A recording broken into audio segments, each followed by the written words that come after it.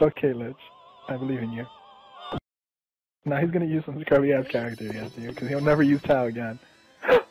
He's baiting me. He's just baiting. Oh, oh. You're waiting, nigga's waiting. He's baiting me. I haven't seen. Well, no, actually, I saw Gio use Tao like a month ago. He, I was helping him practice so he could beat some nigga in the first time. Never mind, but Uh. it's more surprising for you. Yeah. I Like the first time this Tao year. Like, A year. yeah, actually. like a Oh my year. Joe Hook. Oh, yeah, yeah, see he, it. Be really annoying. Oh, this is great. I can't wait. shit, that's Tao. Oh, no, no, no. Oh my god! He oh! baited me! No ah! fucking faggot! Hello everybody, I hope you guys enjoyed that little clip of Lich getting baited because this nigga's hella free. Um, I actually ended up playing him like about 10 minutes afterwards when I came back in the room and just waited. And, you know I mean, I usually don't use Tao because against Lich, I mean, it's it's not that challenging. I mean, Lich is a good player though. You know, Lich, he's a good player, I guess. You know, um, I actually officially declared that this week is Let's Shit on Lich Week. Like real shit, I got on Skype today and like they linked me a bunch of videos of Lich just getting fucking bodied, and it was so bad. Like holy shit.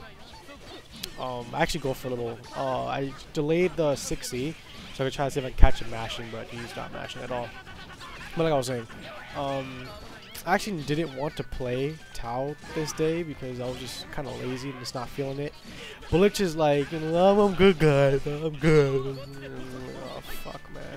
Lich's additional chromosome 21 is active again, which is fucking terrible. Sigh. I try to kill him with JA there, but that shit hella fails. Um, so whatever. I take round one, you know, pretty dominantly, pretty convincingly. Uh, overall, the story of me versus Lich is it's it's a good tale. I mean, I've usually just been more dominant. Like as you can see, I'm just letting some of these drives rip because I've been watching a lot of JP Towers and they just let some of these bitches rip. And right there, I don't go for the full combo because I'm just like trying to push him to the corner, but he's being kind of resistant on getting cornered right now, which is kind of pissed me off because I'm just trying to do some fucking 5k combos with his face.